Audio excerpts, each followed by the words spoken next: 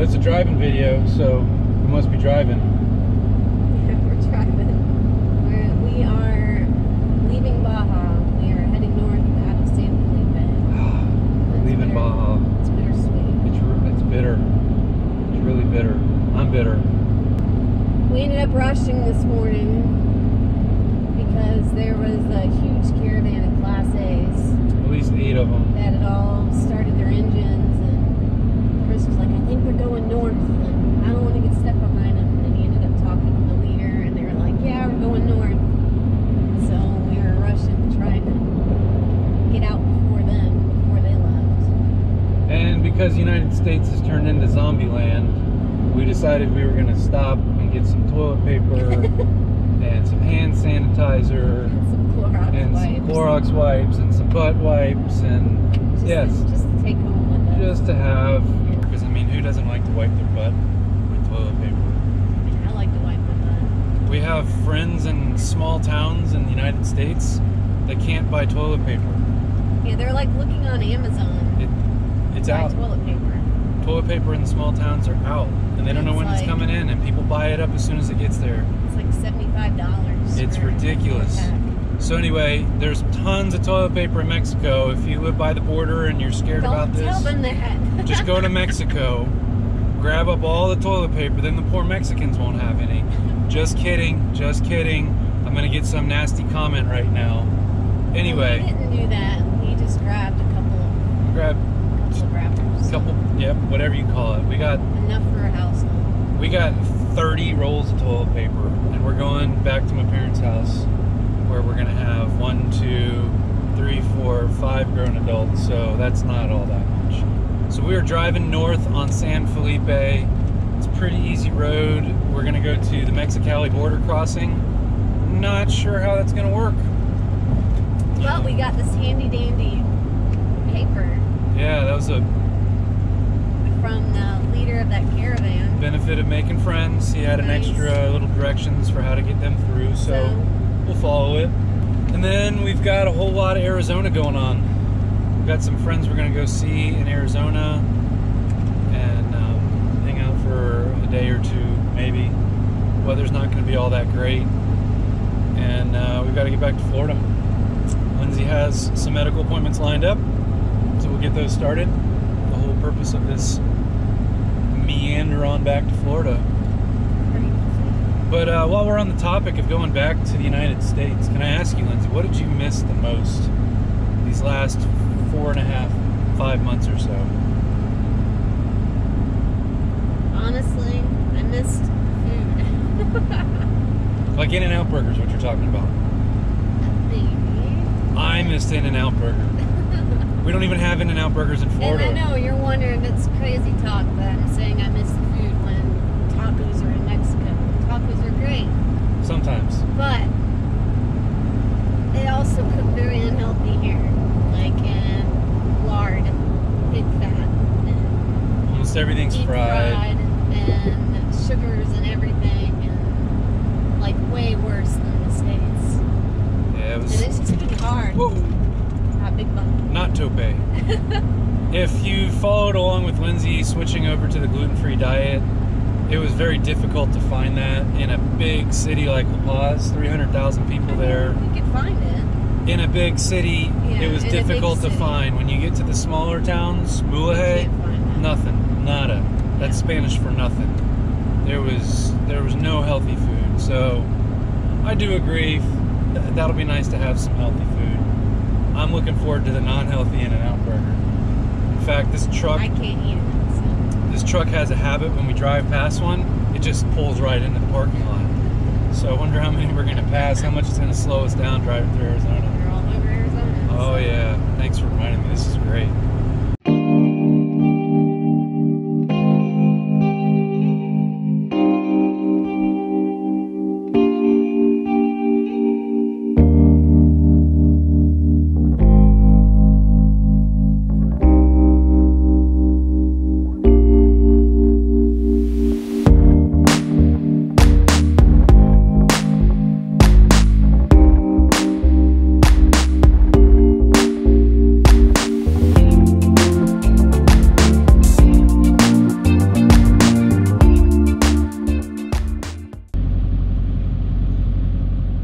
To Mexicali, and we are now navigating our way through the city.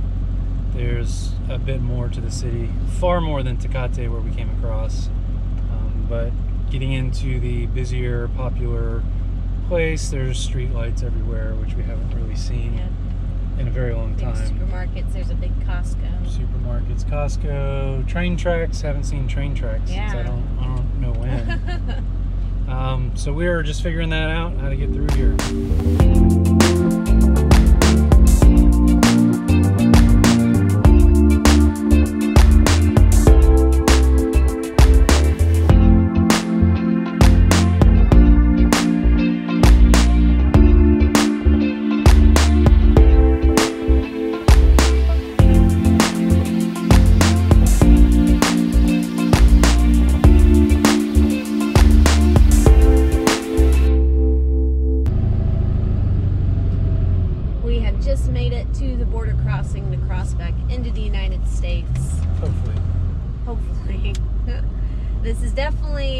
More confusing than at Tecate, which is a much more simple border crossing than this. But, I mean, this hasn't been bad. It's been well marked. So,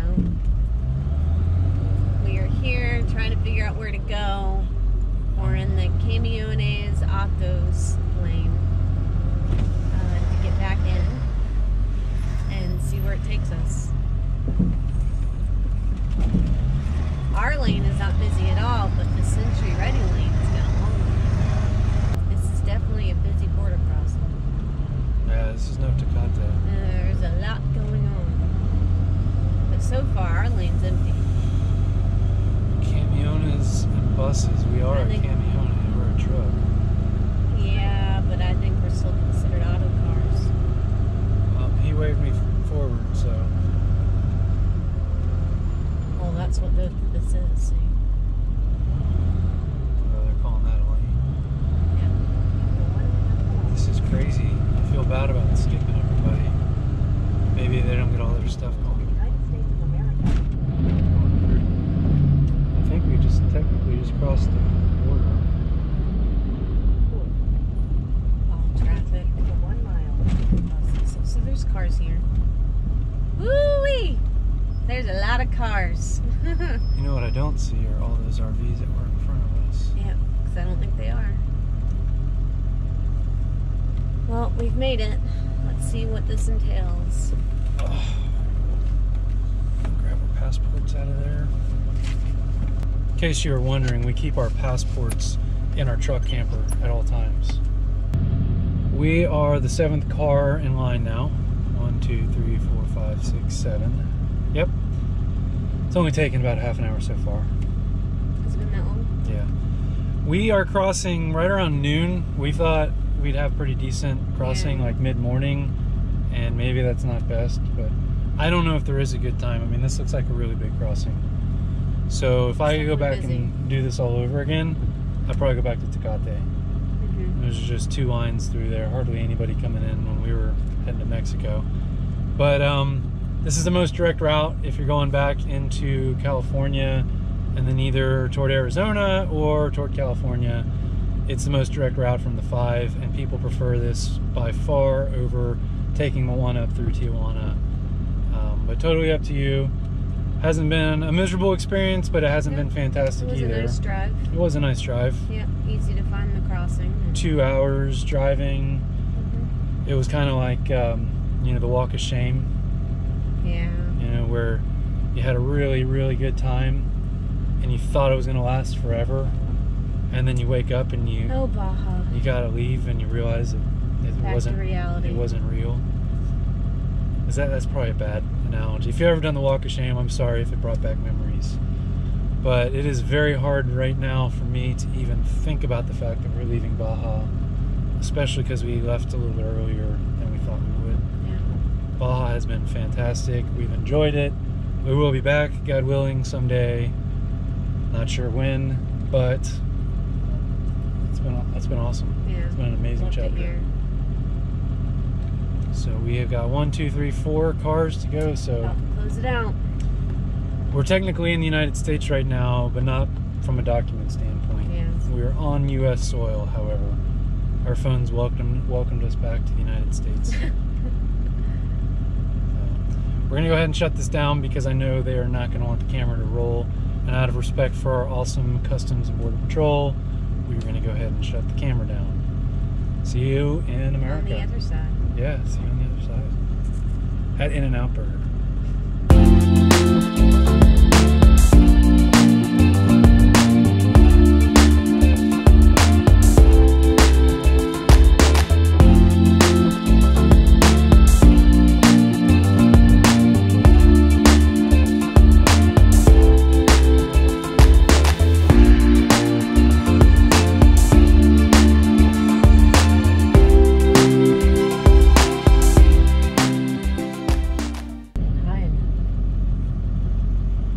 Was mostly easy. We're about to get x-rayed. Now we're going into the X-ray. Ooh, this is cool. And that car slows its roll.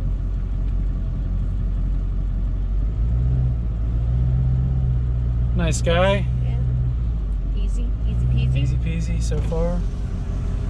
Holy fuck. Shit, right? Yeah.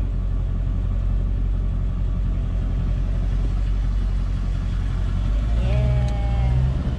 It's x-ray machine. It's huge. Once the light turns green, just go five miles an hour across. Okay. Thank you. Thank you. Sam.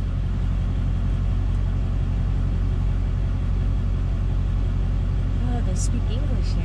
Yeah. He's a young kid, oh, look, but they got little short ones for the cars. yeah. Oh, if they do a random check. Yeah. Here we go. Go. Do I hold my nuts?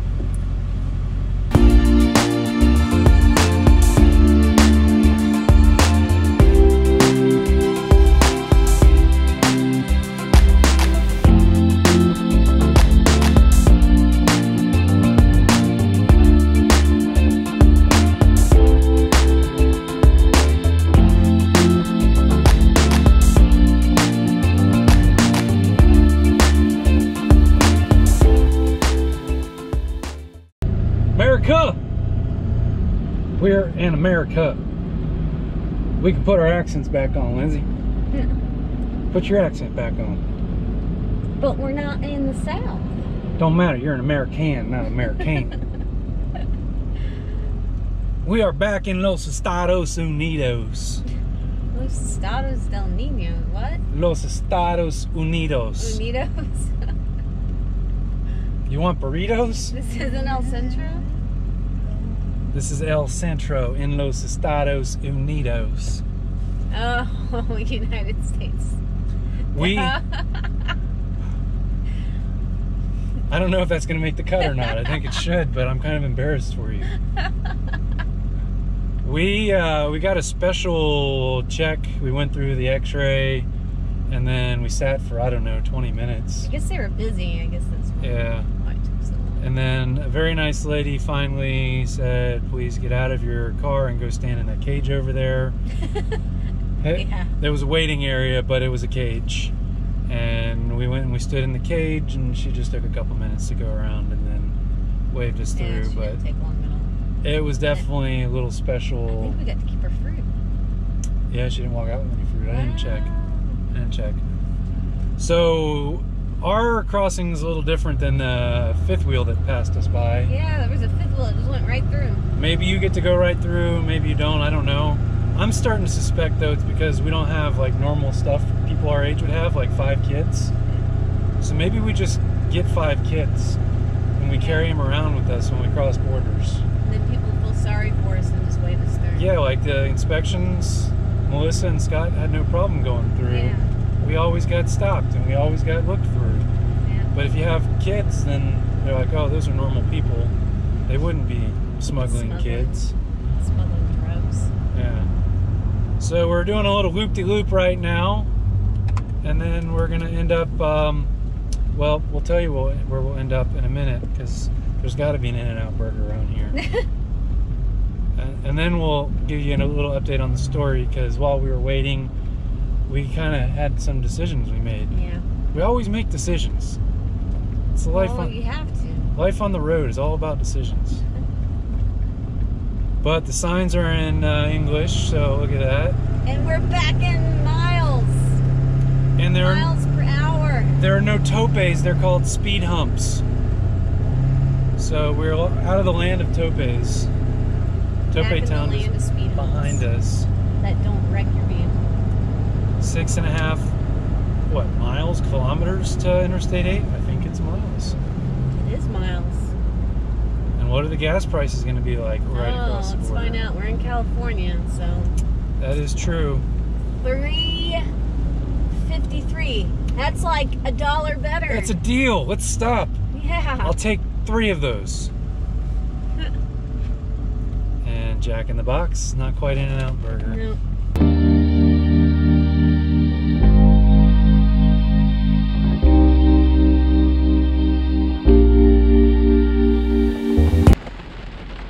This is fun. Weather is like super awful here. Flash flooding warnings and lots of rain. And it's cold. I mean, it's a little chilly. It's cold and it's raining. So we're on our way to visit our friends Joe and Lily in Prescott, Arizona. And we'll spend a little bit of time with them. God willing, we make it through all this rain, well, which you can hear pitter pattering all over the place. We did get food, no In and Out burger yet, but we do have food. That was that was an eye-opening experience. Nineteen dollars and twenty-four cents for two meals at crazy. Wendy's. Yeah, it was absurd. So we have food. We're good on fuel for a little bit. We're gonna drive. Let's let's get out of California. yep, I'm ready. Story of my life. I was born in California. Every time I go to California, it's let's get out of California. Let's get out of California.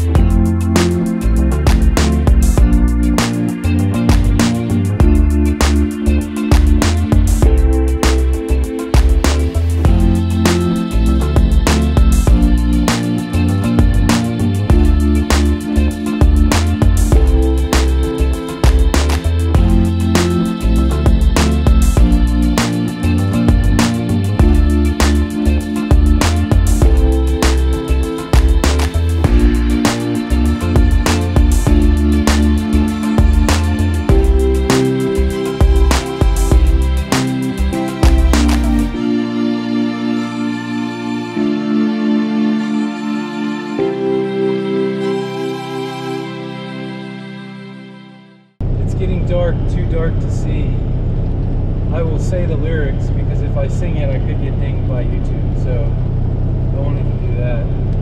We've been driving all day. It's probably too dark to see us right now, and the truck is probably too loud, and now it's raining again. It's been raining off and on. We drove through some beautiful land I'd never even heard of in the middle of somewhere California, Arizona area. Beautiful sand dunes and desert. And uh, Wildflowers. Yep. Now we're on I-10, and the sun is going to set on us. Probably already has because the clouds are so bad. We got a couple more hours till we get to Prescott, and we'll set up for the night and check back in then. But for now, it is uh, we're cruising toward toward darkness. Well, we woke up at our friend's house in Prescott, Arizona, and there's this white stuff on the ground.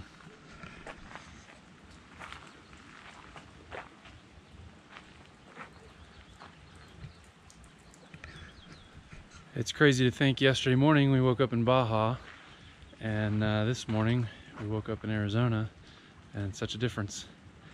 But we'll be here for a couple days enjoying it's cold and rainy we're going to be enjoying the company of our friends and then we'll be taking off. Um, so, gonna go a little radio silent as we enjoy our time here. And we'll check back in later.